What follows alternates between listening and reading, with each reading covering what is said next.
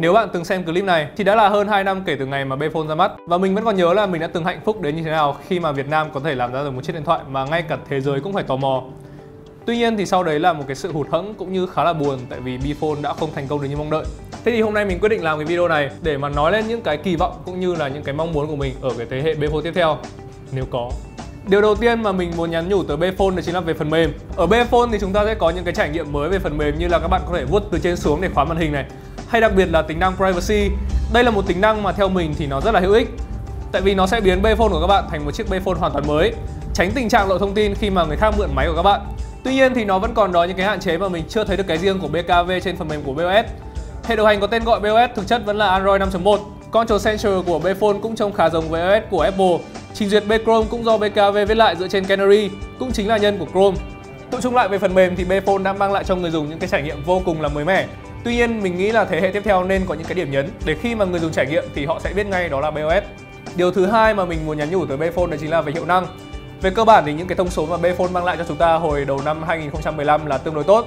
Đứa con đầu lòng của BKV được trang bị chip Qualcomm Snapdragon 801 đi cùng với cả 3GB RAM. Với những bạn nào mà có nhu cầu bình thường ấy, nghĩa là chỉ sử dụng những cái tính năng cơ bản như là lướt web này, nghe gọi này, email này, chụp hình, nghe nhạc thì Bphone đáp ứng rất là tốt. Và hẳn là các bạn cũng đã từng xem những cái video speed test và chắc cũng có thể biết được cái đa nhiệm của Bphone nó bá đạo tới mức nào rồi. Tuy nhiên thì lại một lần nữa là mặc dù nó tốt như vậy, nhưng vẫn còn đó những cái hạn chế và điển hình là cái nhiệt độ của máy trong quá trình sử dụng.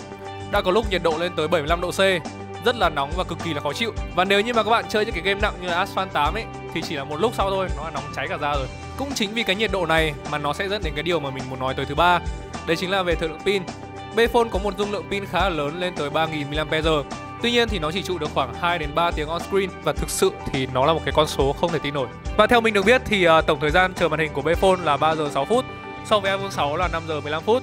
Samsung Galaxy S6 Edge là 4 giờ 42 phút và LG G3 là 4 giờ 15 phút.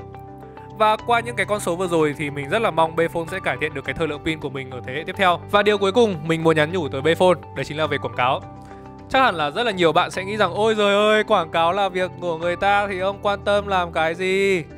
Nhưng mà ý mình ở đây ý, chính là cái khoảng cách giữa quảng cáo với thực tế. Đồng ý là Bphone đẹp nhưng mà cái khoảng cách giữa quảng cáo với thực tế của nó cũng phải vừa phải thôi. Đằng này nó lại rất là lớn, thành ra là khi mà kỳ vọng của người tiêu dùng lên cao để rồi đến khi cầm máy thì lại không như mong muốn thì người dùng lại chính là những người chịu ảnh hưởng nhiều nhất. Tự chung lại thì à, đối với mình, Bayphone nó là một chiếc điện thoại đẹp và nó đã thành công trong cái việc là khiến cho nhiều người biết đến nó hơn. Và mặc dù vẫn còn đó những cái hạn chế thì thế hệ Bayphone tiếp theo mình chắc chắn sẽ ủng hộ. Bởi vì phải nói thật là mình cực kỳ là tự hào khi mà mình nhìn thấy một cái dòng chữ là Made and Design in Việt Nam by BKV ở một cái sự kiện lớn như là CES. Chính vì thế nên là nếu như mà thế hệ Bayphone tiếp theo nếu có thì mình chắc chắn sẽ ủng hộ và mình mong là các bạn cũng vậy. Tuy nhiên, ủng hộ thì ủng hộ. Mình cũng rất là mong Bphone có thể khắc phục được những cái điểm mà mình đã nói ở trên để chúng ta có được một chiếc điện thoại thuần Việt mà vẫn có thể ngang tầm được với thế giới. Thế thì uh, trên đây là những cái điều mà mình muốn nhắn nhủ tới Bphone 2. Theo các bạn thì sao? Các bạn mong đợi gì ở Bphone 2? Hãy comment chia sẻ bên dưới và nếu như các bạn thấy hay thì đừng quên like, share cũng như subscribe kênh YouTube của S Channel nhé. Còn bây giờ thì xin chào và hẹn gặp lại các bạn trong các video lần sau.